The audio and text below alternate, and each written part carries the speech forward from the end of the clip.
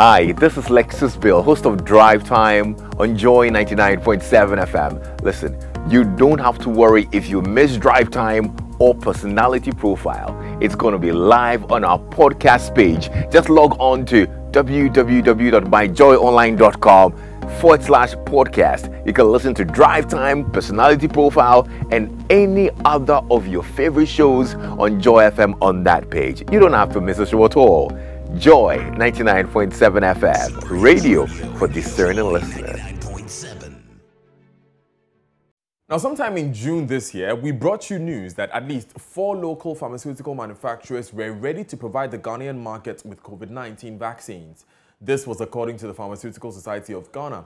The announcement came after government revealed that they were pursuing local options of production following setbacks encountered with foreign markets. The health minister, Kwaku Agyeman-Manu, said his outfit was already in talks with these local companies to facilitate production. This morning, the National Vaccination Committee, led by Professor Kwabena Frimpong Boateng, is holding a stakeholders workshop on moves by Ghana to begin the process of manufacturing its own vaccines in the future. Let's take you live to that event now. And then we come to what we call formulation, the final product. It has to meet a specific formula. And everything, all the ingredients have to be put together, and the final product has to be consistent.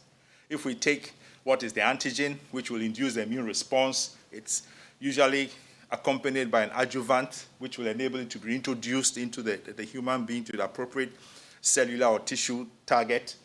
It sometimes comes with preservatives and stabilizers to ensure that the antigen doesn't break down until it gets into the, the, the human system. Sometimes there are surfactants and there are residuals. And then finally, we need to dilute the vaccine to introduce into the human body. So the formulation is a very critical step that the regulatory authorities ensure that is, is, is in place. Next slide. So finally, um, you then have to produce a vial. You have to ensure that the bulk that you started with is distributed into clean, sterile containers, and that this process of filling these vials does not destroy the, the, the, the, the vaccine, which I told you is a, is, is a bio, you know, viable substance, okay?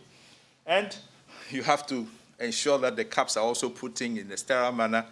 And if you've, you've, you've been um, in the hospital environment, you realize that you even have to ensure that, you know, uh, everything in the immunization process is, is, is, is um, very clean and sterile. I remember there were some discussions about when the uh, COVID vaccines were introduced into Ghana, whether the nurses had to wear gloves or not, because now everybody had an idea of how clean, you know, the process of immunization should be. So it, it's important that the final product is clean, it is sterile, and has been produced in a good manufacturing atmosphere. Next slide. So, as part of the distribution and the inspection, it, it's very important to ensure that everything is clearly monitored and the quality standards uh, are, are, maintained to ensure that a safe, potent, pure, and sterile uh, uh, product is, is delivered uh, to, the, to the end user. Next slide.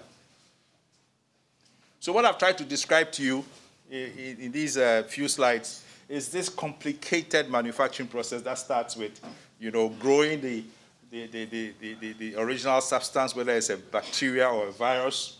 It goes through harvesting, purification, inactivation. We assemble it, we formulate it, then we put it into the vials, that is the filling. Sometimes it comes as dried powder, which is, uh, goes through a process called freeze drying. And then it is then packaged, okay, to be distributed and even that process, if you've heard about the Pfizer vaccine, may require minus 70 storage conditions, transportation.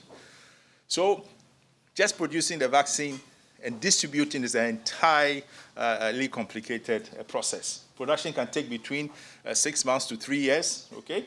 And we, we, we know that um, depending on the, the type of, of, of, of process or product, 70% of the whole system would be just the regulation, the quality control, and, and the checks. It, it, it's as complicated as producing ice cream. When you, when you go to the supermarket, you have a choice, vanilla, strawberry, uh, uh, chocolate, okay? And, and when you taste strawberry, you want to make sure it's strawberry. If you pick up an ice cream in the supermarket and it is not frozen, it's a product that does not even meet your own standard. So the person making the ice cream has to make sure that when it's in the freezer, it actually is frozen and it remains frozen until it is consumed. And it is what? Safe and does not give you diarrhea. Okay, so same thing, multiply that 100 times to a vaccine which is going into your arm, and the regulators must ensure that the quality control process, even through to the administration of the, of the vaccine, is, is done. So I think you've understood the background to the task that uh, the president has given to the committee, whose members uh, uh, Dr. Nsiah has, has, has, gone through, and some of the partners who we are currently working with, very important stakeholders. Uh, uh, German's uh, Ministry for Economic Cooperation has even pledged a sum of 5 million euros for GIZ to work with, with us, to work with the government committee to ensure that the president's dream of establishing vaccine manufacturing in Ghana will come to fruition. We are currently talking to, to different companies, uh, uh, uh Merck, uh, Rommelag, and Glatt, who are important manufacturers of different kinds of equipment, and we hope that engagement with different partners will enable us to move our, our process forward. Next slide. So, now that you have this background, why are we here? We're here because we need to discuss with you our vision, which is to achieve self-sufficiency in vaccine production to meet not just regional, our national needs, but also uh, needs of the, of, of the sub-region. And we hope that this will enable us to set up a, a self-sustaining process which will be sustainable over the years. So we want to be able to produce our own vaccines. That is our vision for, for, for, for Ghana's va vaccine manufacturing uh, roadmap. And we think that this is possible with the support of all stakeholders working together, moving forward, knowing that, yes, we'll be able to produce vaccines in Ghana. Next slide. What are the strategies that will enable us to achieve this vision? This vision starts with the ability to establish domestic vaccine manufacturing plants. We want to strengthen the research, discovery, and development by academia, by research institutions, by any groups that will enable us to to make homegrown vaccines in Ghana. For these vaccines to be acceptable, our FDA must have the capacity to, to regulate the process, which is at least 70% quality control and monitoring. So Ghana's FDA must be strengthened to enable it release and license all the vaccines that we will make, meeting international standards. And to achieve this, we think that there must be a permanent national secretariat that will coordinate vaccine development and manufacture in Ghana. Because we have existing research institutions. I come from one of them. We have private sector initiatives. We have various regulatory processes. And we think that bringing all of them together, coordinating and linking them will enable us to push forward with the vision of vaccine manufacture in, in Ghana. Next slide. So if we take the things that will help us to do this, very important are the partnerships, okay? Financing, funding. We need funding from various sources. The clinical trials that we have talked about, okay, these have to be done to ensure that any vaccines that are developed, okay, are effective, that they are safe. We need to engage in tech transfer. We don't need to reinvent the wheel. For existing technology that are available, we want to be able to access them. And of course, intellectual property. That was Professor William Ampofo. He is with the Noguchi Memorial Institute of Medical Research. He's also secretary of the National Vaccination Committee, and he was leading that particular discussion.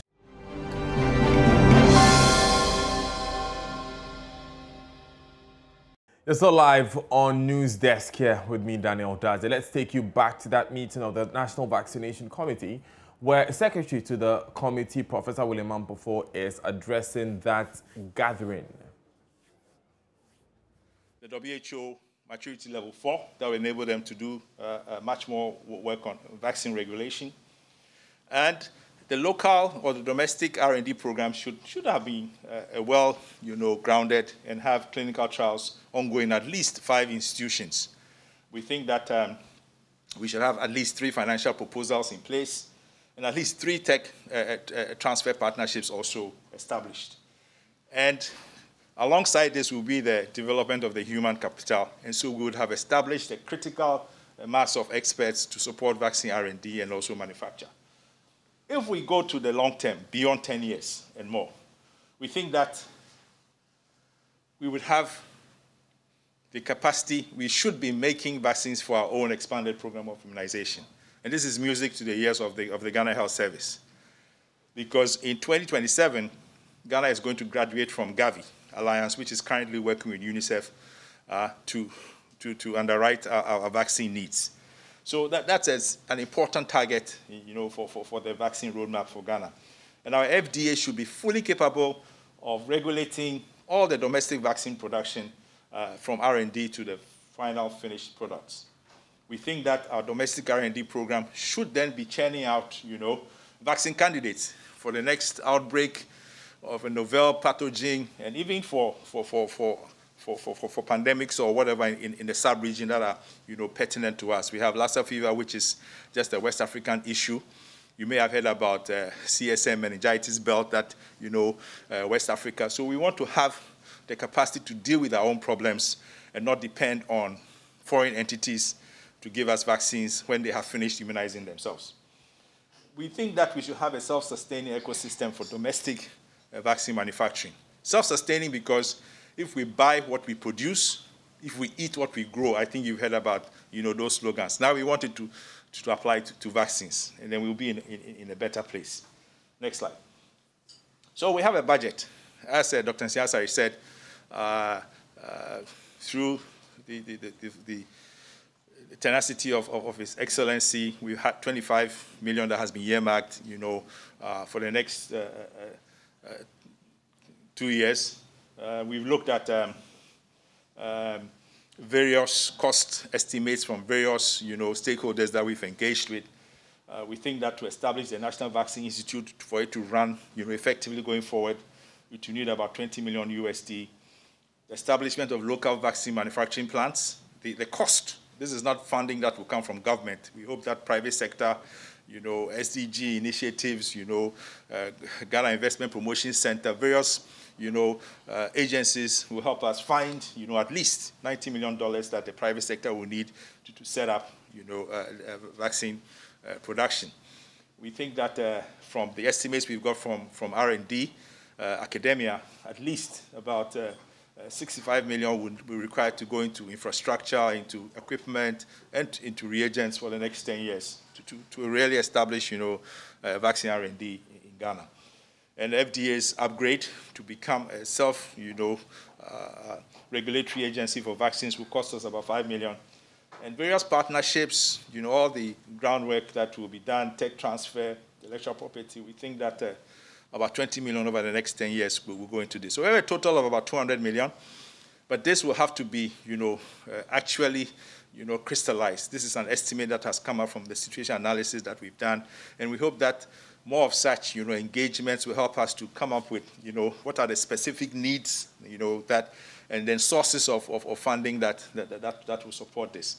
There has been some talk, okay, at the sub-regional level of, of a, of a, regional fund that would, you know, drive, you know, uh, uh, vaccine production and R&D in the sub-region. So when we look at it from Ghana, this is what we see, but of course, uh, uh other, other factors could come into play uh, to provide resources or, or, or, to let us see what will be the cost going forward. So um, I think I'm coming to the end of the, of the, of the presentation. But the most important thing that we should look at is the proposed establishment of the National Vaccine Institute. This is being taken forward at the presidency, at the cabinet level, and will also go to, to parliament. So as part of the uh, uh, uh, consultation to ensure that we, are, we have a, the, the appropriate model Okay, we, we think that this uh, National Vaccine Institute will be housed in the office of the president. There'll be a governing board from the various uh, ministries and, and, agencies that will make it work, especially including the private sector. There'll be a chief executive. There'll be a secretariat, administrative, financial support. And then the four key areas we think that this institute will focus on is R&D, research and development, and of course the manufacturing process itself, you know, to to, to provide the enabling environment to facilitate the manufacturing, working closely with the FDA and the other you know, regulators. Um, human capital development, the people who will have the required skill set and, and, and know-how uh, to do the R&D and also to, you know, to, to, to staff these uh, uh vaccine manufacturing plants. And funding, tech, technology transfer partnerships. All these are very key, and we think that in these specific blocks, there will be um, they will be able to harmonize uh, the existing, you know, agencies and work together in a focused way to enable us produce vaccines in, in Ghana. Next slide. So some of the current developments that are significant milestones, working with the GIZ uh, to, to do a, a, a specific a study, analysis on how the application of fill finish technology will enable us establish uh, uh, vaccine manufacturing, both for national and regional needs. Looking at the sustainability, the long-term uh, needs of such an enterprise, we, we, we think that we also have a market analysis, you know, or plan, looking at how, you know, the demand uh, structure, noting the graduation from, from, from Gavi in 2027, how we will understand, you know, the, the, the market and the needs against the regional needs as well. I mean, one of the uh, private sector uh, uh agents, uh, uh, companies, DEK Vaccines, has already gone ahead and secured a government guarantee in terms of its stated aim to, to establish vaccine manufacturing, and this has enabled them to go ahead and pay a deposit for, for equipment that they need and pay their business plan to set up vaccine manufacturing in Ghana. And um, this uh, uh, government guarantee is very important for, for private sector, you know, uh, investment in, in the area of uh, vaccine manufacturing. So we're very happy that uh, the president is taking this forward in, you know, under his own, you know, scrutiny, uh, with, of course, with the support from the respective uh, ministries to ensure that uh, uh, the enabling environment is provided for, for vaccine manufacturing uh, to move forward. Um, because we want to continue to make this process interactive, the contacts for the Presidential Vaccine Manufacturing Committee are up there, the email addresses. And uh, we are located in the COVID uh, Task Force uh, Secretariat. The National Coordinator for COVID-19, Dr. Samoa Ba, has gladly given us some space. We, we, we, share his meeting space, and we meet frequently and review proposals and try and take forward the objectives and strategies that we have outlined. And um, we look forward to hearing your comments, uh, having your questions, so that together we can work together to, to make this uh, vision of self-sufficiency in vaccine production a reality. Thank you very much.